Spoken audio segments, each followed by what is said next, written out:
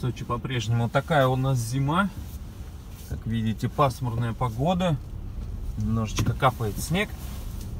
Ой, снег, дождь, господи, какой снег. Совсем заговорился, отъезжая от офиса.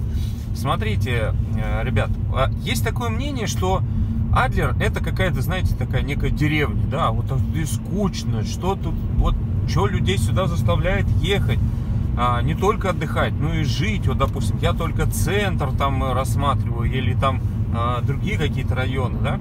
Но на самом деле давайте а, зададимся несколькими вопросами. Что вообще в Адлере есть? То есть, э, почему он все-таки притягивает людей?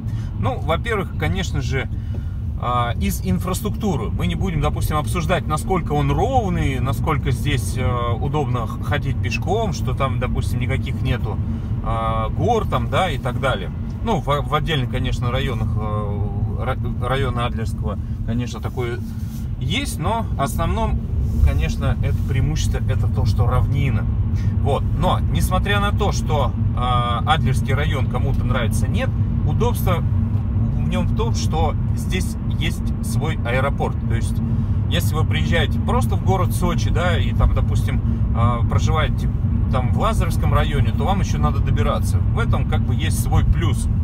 Также есть же здесь э, железнодорожный свой вокзал, что в принципе очень удобно и для наших родственников, которые приезжают к нам, достаточно как бы рядышком мы там проживаем. Ну и даже если бы мы проживали в любой точке микрорайона Адлерского, то как бы все равно удобнее, чем куда-то переться через центр и так далее.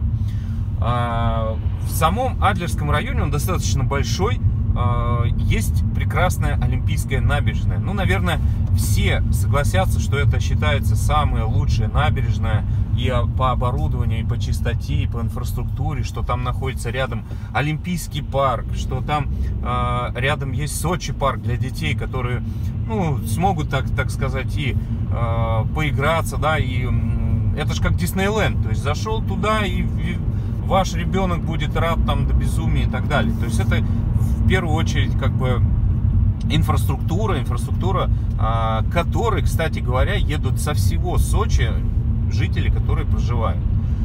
А, в самом а, Адлерском районе также у нас надо не забывать, что есть эм, спортивные комплексы, да, ну достаточно их много, да, в Сочи.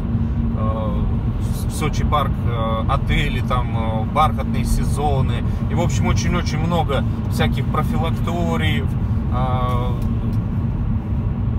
всевозможных, допустим, там гостиниц э, и много-много всего разного. Также здесь у нас есть дельфинарий, есть океанариум э, и есть один из плюсов это граница с Абхазией. Ну чем это плюс? Для кого-то может быть плюс, для кого-то минус, то что как бы рядышком граница. Но, э, во-первых, очень много туристов, которые едут в Абхазию и, допустим, изначально и остаются в Адлерском районе, потому что, ну или заедут э, в Абхазию и обратно оттуда едут, потому что все-таки здесь более развитая инфраструктура для отдыха и так далее. А, это создает такой момент э, туристической направленности, да, то есть все больше здесь сосредоточено э, туристов, и это значит работа, это значит и прибыль, это значит и бизнес, и все так далее. А, горнолыжный курорт, он тоже здесь находится, соответственно, эм, сам Адлерский район очень удобен тем, кто, допустим, работает э, курортом. Ну, к примеру, те же самые взять там обслуживающий персонал, который может работать э, в летний период времени на побережье, а в зимний период времени на горнолыжном курорте. Это создает тоже э, рабочие места, ну и, соответственно, во всей инфраструктуре там будь то водителем, будь то таксистом и так далее, и так далее. То есть все равно в Адлерском районе как бы все равно жизнь кипит и она не, не умолкает. А в самом Адлерском районе, в центре, допустим, есть два а, кинотеатра. То есть все, а, которые новиночки у нас выпускаются, соответственно, там все это выходит. Есть торговые центры, такие как Мандарин, Апельсин, Сити Плаза, Новый век, в принципе, ездить никуда не надо. То есть, вот я, по крайней мере, в Адлерском районе живу, у меня нет необходимости ездить там э, в центр за какими-то покупками. Все здесь, в принципе, есть. Поэтому э, это полноценный, так сказать, э, автономный, так сказать, район, где все сосредоточено. И наоборот, в Адлерский район многие, уже повторюсь, приезжают, а, чтобы, допустим, и отдохнуть, и улететь, и, допустим, там э, сесть на железнодорожный вокзал, там, ну, как бы, где удобнее, да.